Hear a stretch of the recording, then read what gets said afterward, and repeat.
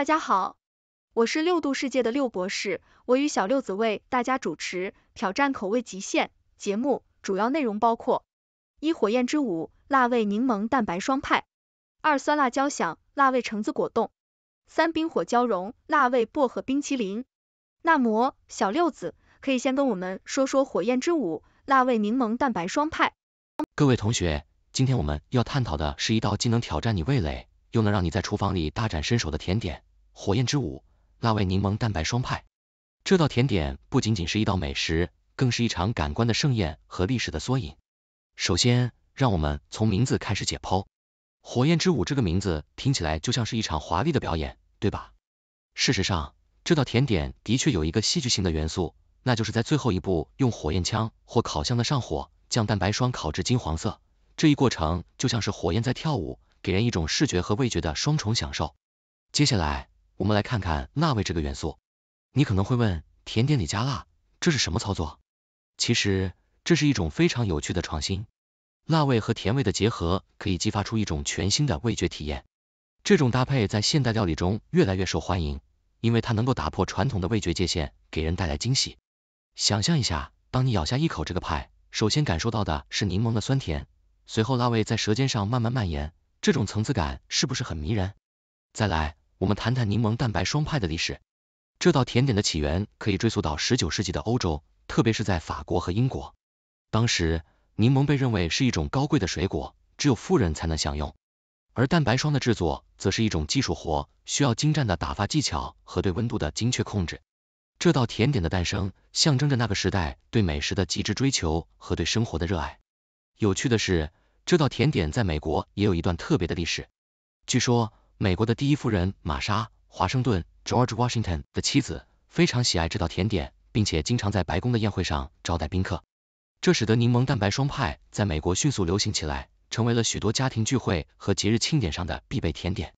最后，我们来聊聊制作这道甜点的过程。制作火焰之舞辣味柠檬蛋白霜派需要一些耐心和技巧，但这也是它的魅力所在。首先，你需要制作一个酥脆的派皮，然后是酸甜适中的柠檬馅，最后是轻盈如云的蛋白霜。当你用火焰枪将蛋白霜烤至金黄色时，那种成就感是无与伦比的。总结来说，火焰之舞辣味柠檬蛋白霜派不仅仅是一道甜点，它更是一种艺术，一种历史的传承，一种对生活的热爱。希望大家在品尝这道甜点时，能够感受到其中的美妙和乐趣。记住，生活就像这道甜点一样。需要一点点的创新和勇气，才能变得更加精彩。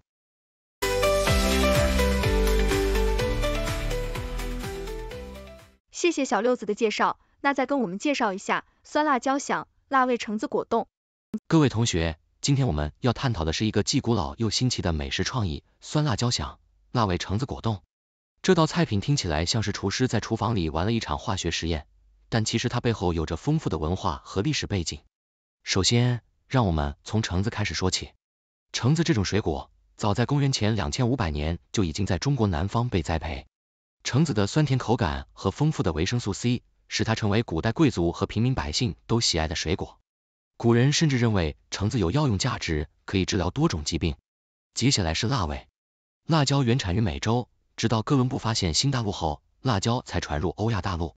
辣椒迅速在亚洲各地流行开来。尤其是在中国和印度，成为了当地饮食文化中不可或缺的一部分。辣味能够刺激味蕾，增加食欲，还有助于促进新陈代谢。那么，这两者结合在一起会是什么样的体验呢？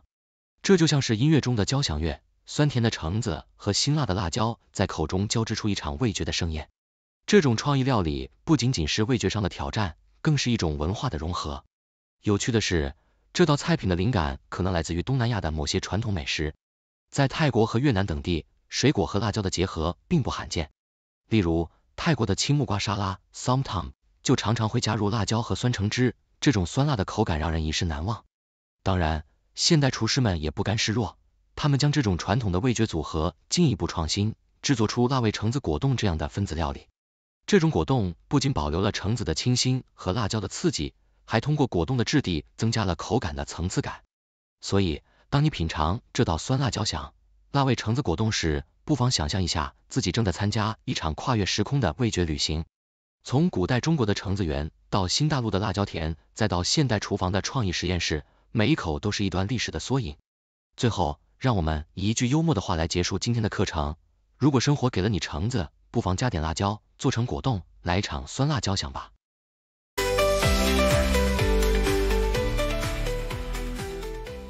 谢谢小六子的介绍，那再跟我们介绍一下冰火交融辣味薄荷冰淇淋。各位同学。今天我们要探讨一个非常有趣的主题——冰火交融辣味薄荷冰淇淋。这个听起来有点矛盾的甜点，实际上蕴含了丰富的文化和科学背景。首先，让我们从冰淇淋的历史说起。冰淇淋的起源可以追溯到古代中国，当时人们会将雪和水果混合在一起，制作出早期的冰淇淋。后来，这种美味的甜点传到了欧洲，并在意大利和法国得到了进一步的发展。薄荷冰淇淋则是在十九世纪才开始流行的。因为薄荷具有清凉的口感，能够在炎热的夏天带来一丝清爽。那么，为什么要在冰淇淋中加入辣味呢？这就要说到辣椒的历史了。辣椒原产于中南美洲，十六世纪由西班牙和葡萄牙探险家带回欧洲，并迅速传播到世界各地。辣椒中的辣味来自于一种叫做辣椒素 （capsaicin） 的化合物，这种物质能够刺激我们的痛觉神经，产生灼热感。现在。让我们把这两种看似不相容的元素结合在一起。辣味薄荷冰淇淋的诞生其实是一种创新的尝试，旨在挑战我们的味蕾。当你第一口吃下去时，冰淇淋的冷感会让你感到一阵清凉，随后辣椒素的作用会让你的舌头感到一阵灼热。这种冰火交融的感觉既矛盾又和谐，让人不禁感叹大自然的奇妙。有趣的是，这种甜点还有一些科学依据。研究表明，辣椒素能够促进新陈代谢。增加热量消耗，而薄荷则有助于消化，并且具有抗菌作用。所以吃一点辣味薄荷冰淇淋，不仅能够满足你的味蕾，还可能对你的健康有益。最后，让我们来讲一个有趣的故事。据说有一位厨师在一次烹饪比赛中，意外的将辣椒粉撒进了薄荷冰淇淋中。当他发现这个错误时，已经来不及更改，只好硬着头皮将这道甜点端上了评审桌。没想到，评审们对这种独特的口感赞不绝口。这道意外诞生的甜点最终获得了比赛的冠军。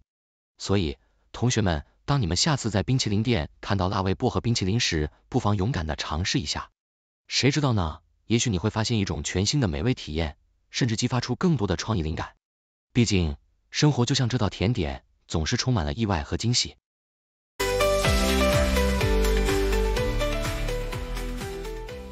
谢谢小六子的介绍，那再跟我们介绍一下畜牧启航。辣味香蕉奶昔，各位同学，今天我们要探讨一个听起来有点奇特，但绝对引人入胜的主题——畜牧启航辣味香蕉奶昔。这个名字本身就像是一个谜题，让人不禁想问：香蕉奶昔怎么会和辣味扯上关系呢？首先，我们来看看香蕉奶昔的历史。香蕉奶昔这种甜美的饮品，最早可以追溯到二十世纪初的美国。当时，奶昔是一种非常受欢迎的饮料，尤其是在炎热的夏天。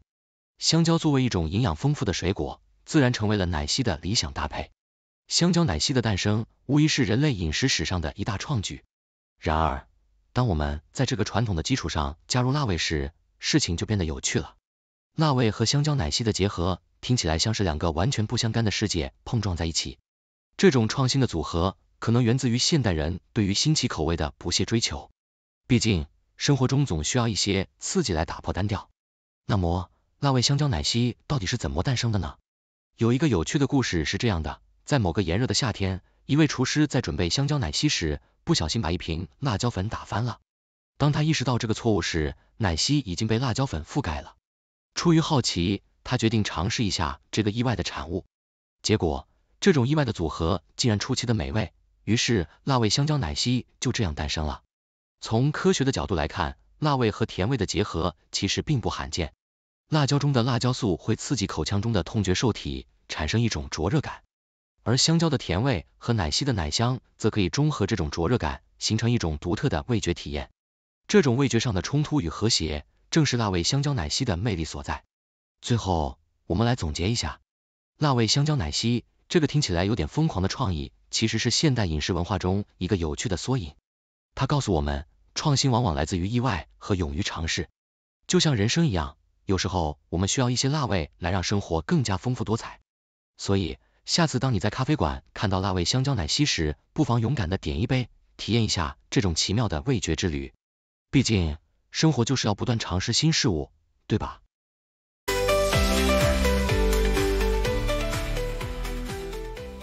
谢谢小六子的介绍，那再跟我们介绍一下探险篇章——辣味苹果派。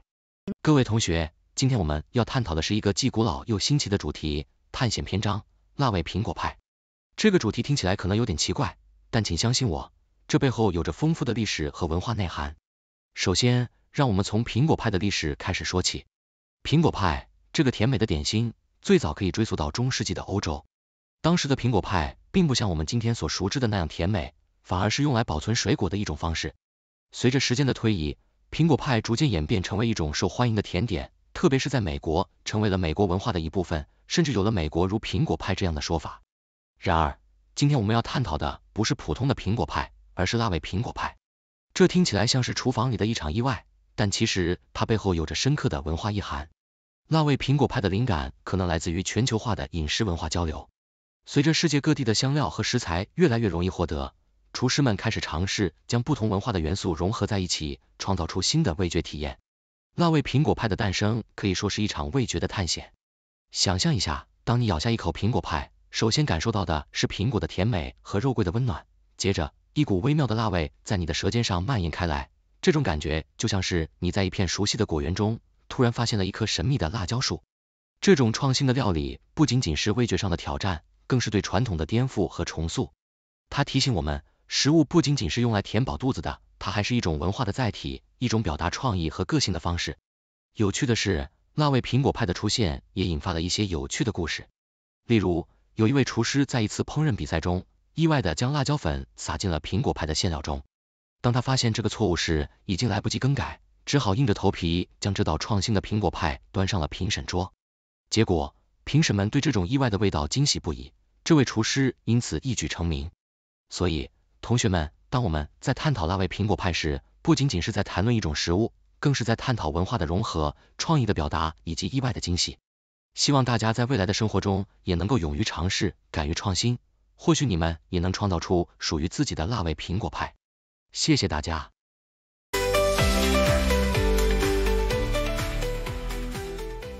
谢谢小六子的介绍，那再跟我们介绍一下味觉巅峰——辣味葡萄果冻。各位同学，今天我们要探讨的是一个非常有趣的主题——味觉巅峰——辣味葡萄果冻。这个话题听起来可能有点奇怪，但请相信我。这背后有着丰富的科学和文化内涵。首先，让我们从味觉的基本原理开始。人类的味觉主要分为五种：甜、酸、苦、咸和鲜。辣味其实并不属于这五种基本味觉之一，而是一种痛觉。当我们吃辣的食物时，辣椒素 capsaicin 会刺激口腔中的痛觉受体，这就是为什么我们会感到辣的原因。那么，为什么有人会想到把辣味和葡萄果冻结合在一起呢？这就要说到创意料理的世界了。现代料理中，厨师们经常会尝试将看似不相容的味道结合在一起，以创造出新的味觉体验。辣味葡萄果冻就是这样一个例子。葡萄的甜味和辣椒的辣味相互碰撞，产生出一种独特的味觉冲击。这种冲击感让人既惊讶又愉悦。有趣的是，这种创意料理并不是现代才有的，在古代，中国的宫廷料理中就有很多奇特的搭配，例如。唐代的《食疗本草》中记载了一种叫做焦蜜的食物，这是一种用胡椒和蜂蜜制成的甜辣调味品。这种调味品被认为具有开胃和促进消化的作用。再说回辣味葡萄果冻，这种创意料理其实也有其科学依据。研究表明，辣椒素可以促进新陈代谢，增加体内的热量消耗，而葡萄中富含的抗氧化剂则有助于保护心血管健康。所以，辣味葡萄果冻不仅仅是一种味觉上的创新。还可能对健康有益。最后，让我们来点幽默的结尾。如果你有机会品尝辣味葡萄果冻，记得准备好一杯牛奶，因为牛奶中的酪蛋白可以有效的中和辣椒素，帮助你缓解口腔中的灼热感。当然，如果你是个辣味爱好者，那就尽情享受这种味觉巅峰吧。总结来说，辣味葡萄果冻是一个结合了科学、历史和创意的有趣话题。希望今天的分享能让大家对味觉有更深入的了解。也激发你们去尝试更多新奇的味觉体验。谢谢大家。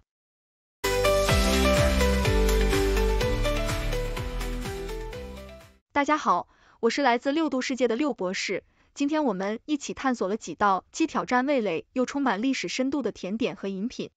从火焰之舞辣味柠檬蛋白霜派到探险篇章辣味苹果派，再到味觉巅峰辣味葡萄果冻，每一道创意料理都带我们进行了一场跨越时空的味觉之旅。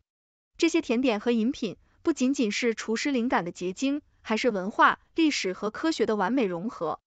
通过这些创新的组合，我们不仅能够挑战自己的味蕾，更能感受到不同文化间的碰撞与融合。